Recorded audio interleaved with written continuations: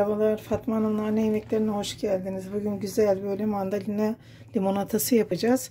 Bunları biz almıştık. Bayağıdır kalmış dolapta. Değerlendirmek adına çok güzel bir şekilde. Şimdi 10 tane yaklaşık 9-10 tane mandalinamız var. 2 tane de limonum var. 5 mandalina 1 limon gibi düşünün. Şimdi bunları güzelce bir yıkadık. Güzelce bir şu mandalinalarımızı soyalım. Evet şimdi mandalinalarımızı böyle soyduk. Dediğim gibi biz bunu bayağı oldu alalı. Oruç falan girince böyle unuttuk akşamları çünkü iftardan sonra bir çay şey derken. Şimdi bunları değerlendirmek için biraz tabii ki bayağı kaldıkları için e, boşa gitmesin diye böyle bir tarif paylaşacağım. Hemen pratik yapabileceğimiz. Ve güzelce soyduk.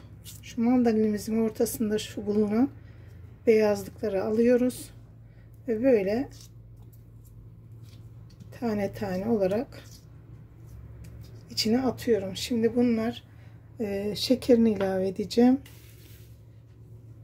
Yani 5 mandalina 1 su bardağı kullanıyorum. 10 mandalina olduğu için 2 su bardağı kullanıyorum. Bu sayıyı, oranı, miktarı sizler azaltıp çoğaltabilirsiniz. Tercih sizin. Biraz daha tatlı olsun derseniz 2,5 yapabilirsiniz. Şöyle ve şimdi bunu biraz daha 5 mandalina 1,5 kullanıyorum. 10 tane olduğu için 3 litreye yakın su kullanacağım. Bu benim 1 litrelik bir kabım. Ölçü şöyle. Bundan 3 defa dökeceğim. Bu ikincisi. Bu da 3.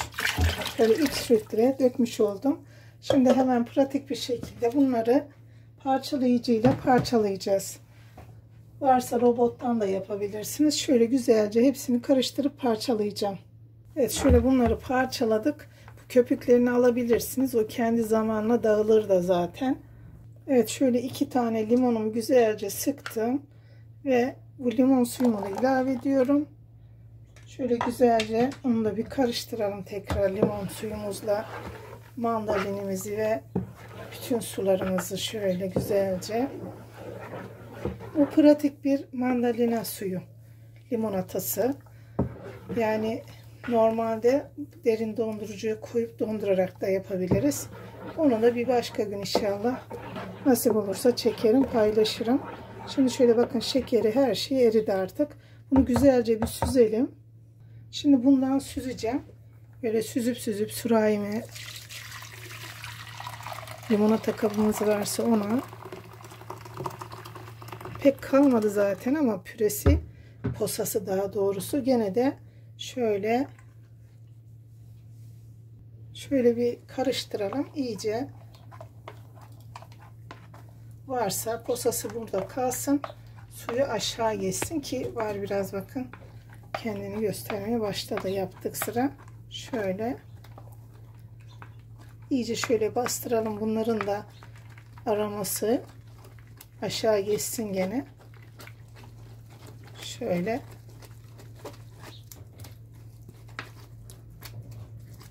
Ara sıra da süzgecimizi şöyle batıralım. O süzülenler aşağı geçebilsin.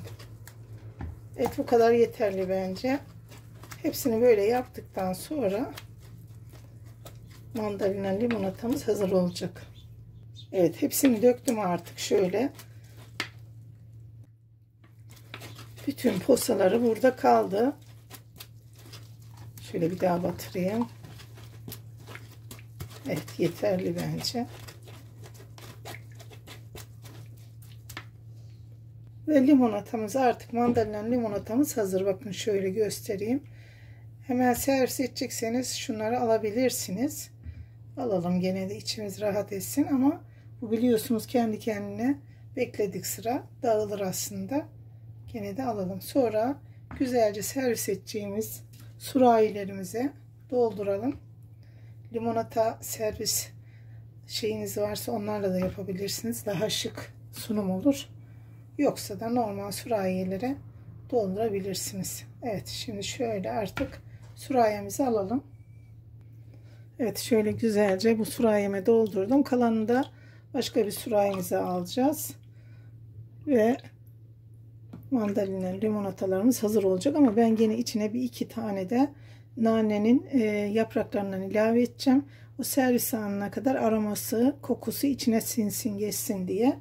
E, tercih sizin karanfil de ilave edebilirsiniz ama nanenin limonatalara yakışıyor biliyorsunuz. Evet balkonumda yetişen nanelerim yapraklarından şöyle yeterince koparacağız. Böyle sizler de yapabilirsiniz fikir olsun. Balkonda hazır çorbalara böyle bu tür şeylere kullanmak için çok güzel oluyor. Hem de yazın o balkonda verdiği kokusu muhteşem oluyor. Tavsiye ederim. Ve şimdi şöyle birkaç tane buraya atacağım. Böyle birkaç da buraya atayım. Aroması geçsin. Şöyle bir karıştıralım. Bunu da şöyle bir yaptırıvereyim. Hem dibine otursun hem aroması geçsin. Evet şimdi bunu da başka bir surahiye alacağım. Şu an şöyle bu hazır artık. Buzdolabıma kaldıracağım. Akşam nasip olursa içeceğiz inşallah. Niyetliyiz çünkü biliyorsunuz. Ee, Nisan'ın 2022 23 Nisan günü bugün. Bu arada 23 Nisan'ımız da kutlu olsun diyorum. Evet surayım dursun. Buradan böyle bardağıma bir ilave edeyim biraz.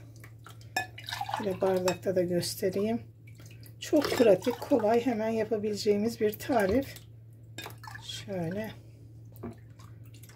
Mandalin dilimleri de üstüne koyarak, yanına koyarak servis edebilirsiniz.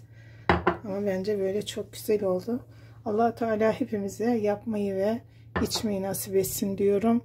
Sevgiyle kalın. Kanalımıza abone olmayı, beğeni, yorumlar yapmayı unutmayın.